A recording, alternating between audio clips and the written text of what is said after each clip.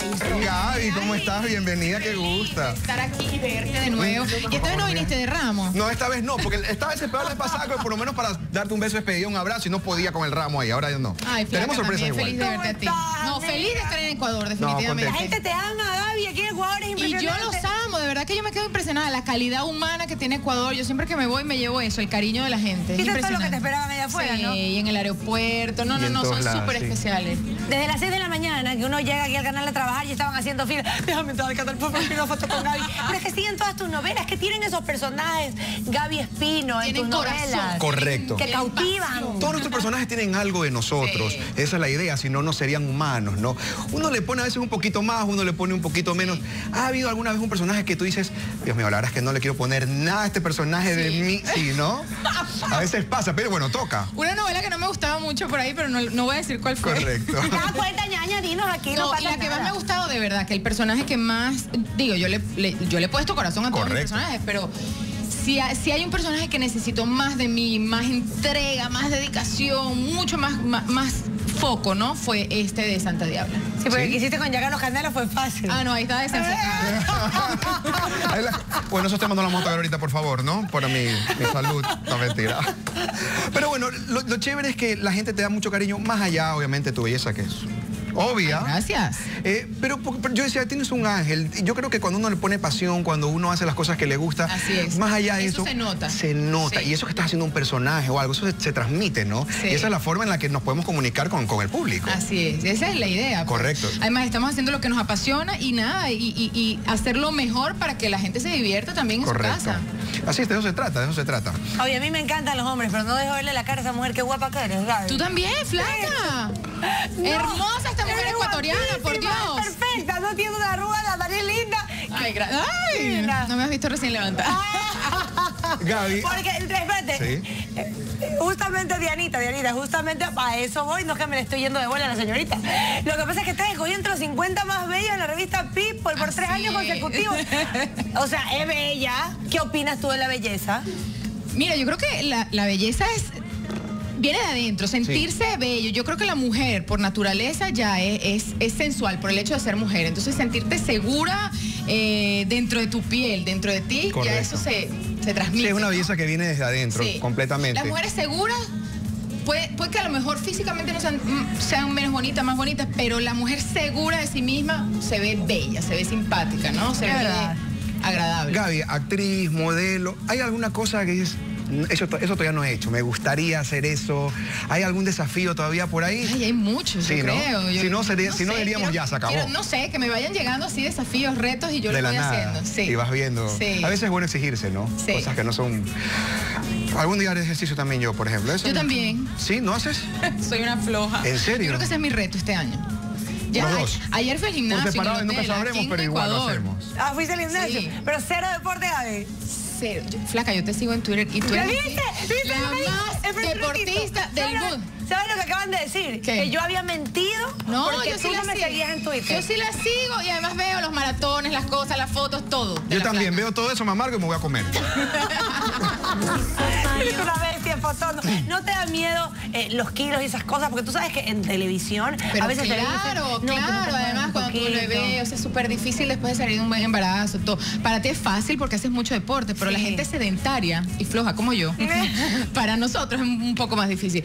No, yo cuando estoy en, en telenovela y sí que es verdad que no da tiempo y, y trato de comer saludable Correcto. y para mantenerme, pero ya cuando termino novela sí me enfoco y sí. Sí, porque yo te he visto, me acuerdo que una vez, eh, de hecho que te tuvimos aquí en el programa, enseñamos unas imágenes tuyas de una novela y tú dijiste, yo estaba gorda en la novela, tenía que decirle al director, a casi casi que hágame la toma Sí, aquí para arriba. sí. Pero en la siguiente novela ya eras un una figurita. Claro, porque sí, me enfoco y, y lo logro. Ahorita estoy llegando de las vacaciones de Navidad, que no está y el fácil. pavito, el y, las- y las vacaciones, acabo de terminar de grabar Santa Diabla también, entonces también hay que disfrutar la vida un poco. Sí, pero por Tú la favor. disfrutas haciendo ejercicio, yo la disfruto comiendo. Claro, Yo disfruto viendo, cada estamos bien, Yo como un montón.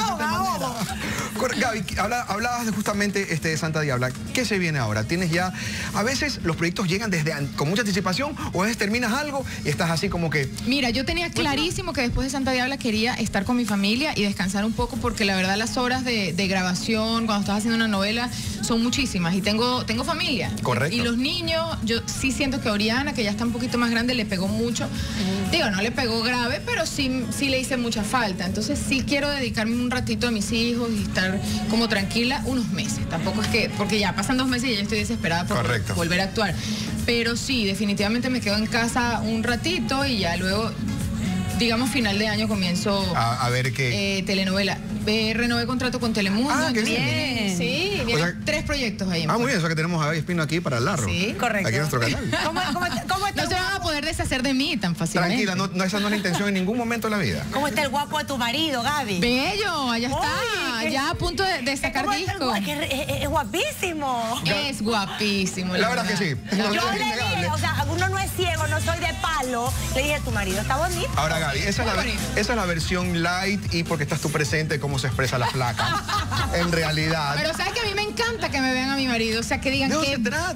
Claro, qué bueno está. O sea, yo no podría estar con alguien que no lo ve nadie. Correcto, es como cuando los hombres dicen, ay, no, no quiero que salga así, pero ¿por qué? Si tu mujer es guapa, es bella, obviamente dentro de lo normal y todo eso, que sea admirada al contrario. Pero por favor. Pues lo mismo me dijo él cuando yo lo entrevisté en Miami. No, que a mí me encanta que me digan que Gaby es bella, que Gaby es linda. Él es fan tuyo, pues. Sí, y yo soy fan de él. Es increíble.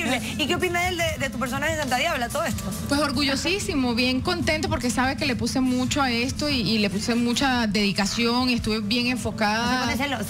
No, no, no nosotros nos apoyamos muchísimo, nos respetamos muchísimo. Además, nos conocimos así. Claro, ¿no? en, entonces en cómo es la movida. Y eh, no, no, tenemos dos días en esto. Entonces, claro. sí, yo respetamos mucho y nos y, nos apoyamos. Nos veíamos ahí las escenas de besos. Yo conversaba con Gabriela que a veces este, tú, la, gente que no hace novelas o que no es actriz, lo ve y dice, ay, el beso, pero... Claro, es la magia de la es la magia. Es la idea, que engañar a la gente, digamos, Correcto. o sea, tenerlos dentro de, un, de una magia, de un sueño. O sea, cuando el beso con Giancarlo de alguna manera, ok, hay atracción, ya, más, más real. Pero cuando es simplemente trabajo, es una escena más. Es más, uno tiene que estar pendiente de que no mire la cabeza acá porque la cámara, la luz... Con tu mano, sóbale la espalda. te van indicando a veces, ¿no? Baja la mano, bésalo para allá, muévete acá. Eso no es tan real. Y la gente bueno, cuando sale al aire... que no es actriz, pues se la cree tanto. Yo veo esos besos y digo, wow. Cuando sale al aire la cosa se ve toda seguida, pero eso fue por puro cortecito. O claro, tiene la luz aquí. ¿no? Sí, sí, sí. Bueno, muy bien. En general estamos todos muy contentos. Se ha llenado el, estudio. Hay algunos fanáticos y fanáticas por ahí. La verdad es que, la verdad es como te decía, eres muy querida, no solo por tu personaje de la novela, sino por, por, por, lo que transmites. Esa ángel que transmites. Eres divina. La verdad es que somos hermanos. Los venezolanos, los ecuatorianos, somos, somos pueblos hermanos. Pasamos por situaciones complicadas en estos momentos. Eh, hubo por ahí algo que tuviste un pequeño problema o algo así porque habías dicho algo. Yo no lo digo como problema. Yo creo que es la realidad. Exacto. Nosotros Mira, eso, eso pasó en una entrevista el día que, bueno, que pasó lo de Mónica Spear, lamentablemente. Y me llamaron. Yo estaba súper consternada con la noticia. también, ¿no? Sí, a las 9 de la mañana y hice esa entrevista y me dijeron, ¿qué piensas tú? Y yo estaba, te lo juro, llorando. Yo cuando me enteré estaba llevando a mi hija al colegio, súper triste y le dije, con esta inseguridad, o sea, este es el día a día de Venezuela. Hoy eh, es Mónica y Mónica, digamos, es la cara del venezolano que está sufriendo, que está pasando por esa situación en que fue de vacaciones es nuestro, día a día. Y dije, ¿sabes qué? Yo tengo hijos, yo soy mamá, o sea, yo voy a proteger a mi familia, yo me voy a proteger yo. Y si yo tengo que escoger a dónde ir, obviamente yo voy a escoger, no, no voy a escoger un lugar donde yo puedo correr peligro. Y, definitivamente estamos pasando por un momento difícil en Venezuela. Yo no estoy diciendo que en los demás países no, no lo estén pasando, que no pasen cosas, pero estábamos hablando en ese momento de Venezuela. Y yo dije, ¿sabes qué? Yo soy mamá y por la seguridad de mis hijos, por mi seguridad, por mi integridad física y la de mi familia. Yo no quiero ir a Venezuela. Con un, caso además, yo no vivo, además yo, vivo hace muchos años fuera de Venezuela. Si tengo que escoger ir a Venezuela. En este momento no lo haría por, por, cuidarme, porque está, es un momento difícil. Yo tengo muchos amigos venezolanos, amigos venezolanos, y me han dicho, me han dicho, oye, algún día para ir, me dice, Diego, yo no voy. Es imposible. Y ojo, amo mi país. Y si hay algo, y si hay algo que me duele muchísimo y que me hace falta, que lo quiero hacer algún día, es enseñarle a mis hijos mis raíces, de dónde vengo, de en dónde nací, cómo, cómo, cómo es mi país, Correcto, cómo, era la- la cul- cómo es la cultura, la comida. Imagínate, criar a mis hijos en otro país. y Justo que- un venezolano me escribía el día que pasó este, que pasó lo de Mónica y decía, bueno, hoy es Mónica flaca, pero eso nos pasa todos los días a nosotros aquí en Así Venezuela. es. Vivimos con miedo. Así es.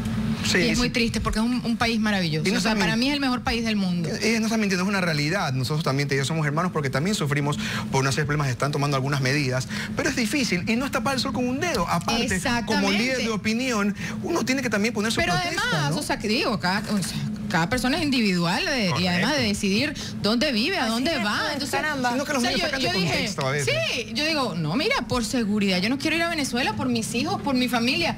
Ah, bueno, o sea, revolución Ya completa. no quiere a Venezuela. Ya no quiere a Venezuela. No, señores, yo amo a mi país, yo amo mi país, pero o sea, Nunca hay faltan, problemas ¿no? como en todos los países del mundo. Simplemente no quiero correr riesgo, o sea, no, no quiero llevar a mi familia en un momento difícil. Y no era algo que tú estabas descubriendo, to- ponemos noticias y lo sabemos. Además, ¿no? no estaba decidiendo si Sí. regresar a Venezuela a vivir. Yo vivo afuera, yo formé una familia fuera de mi país, estoy trabajando afuera, en una empresa afuera.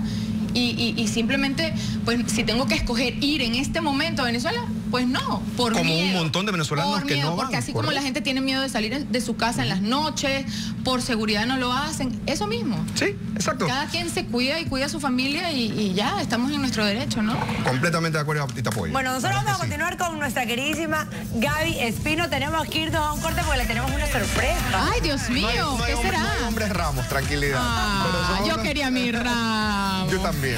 No me dejan disfrazarme de nuevo. Ya venimos con más.